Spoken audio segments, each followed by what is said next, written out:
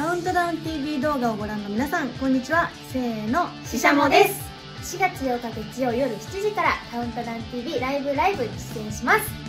はい、えー質問が新生活早く買い替えればよかったもの第1位は？ということなんですけど何かありますか？あるこれは、えー電子レンジです。あのお本当私は電子レンジがあの壊れてることに気づいたままなんとなくだましだまし使い続けて最終的に10分やっても冷凍の米が解凍できるようになりました。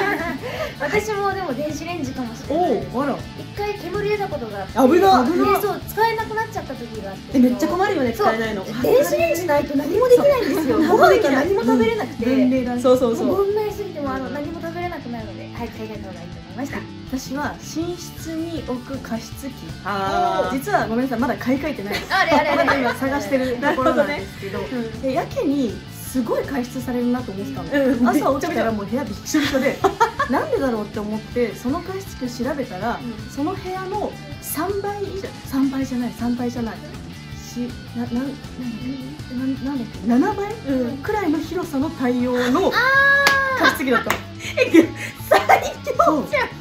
8倍くらいかな。やばだから合ってないことに最近気づいたんであの探してます。そうだね。一刻も早くすっごい広いところだったの。なるほどちゃうね。びちょびちょになってんだえーそんな私たち一緒もですけれども今回は最高速度を披露します、えー新しいアルバムの1曲目に収録している曲ですけれども意気込みありますか？